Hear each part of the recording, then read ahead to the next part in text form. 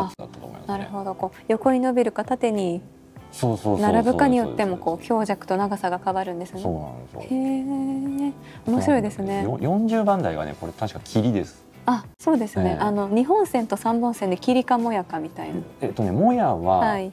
えっとね10番。もやが10番、えこれ面白いですね。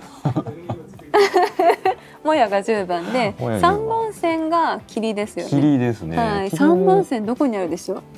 えっとねあ40番43五ですか？これ私もちょっと視力が悪くてですね。45っぽいですね。すね。はい。45が霧。なんかヒョウムとかなんかね氷霧みたいなやつとかなんかそんなもん。あありま私したね。もね相当曖昧ですよ。いやいやいやいや。そうなんですね。これこうやって頑張って近づけて 姿勢が悪くなってますけれどもこう近づけてみております。前のめりで